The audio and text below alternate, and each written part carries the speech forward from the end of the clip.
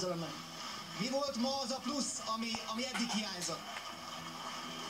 Uh, igazából uh, sokkal frissebbek voltunk, uh, dinamikusabbak voltunk, és elhittük azt, hogy igenis tudunk nyerni. Igenis bebizonyítottuk azt, hogy középszerű szarjátékosokkal, és tudunk minőségi jó játékot nyújtani. Köszönöm szépen. Köszönöm szépen. Én még kérdeztem volna Pető Tamás, de hát ő elment inkább ünnepelni.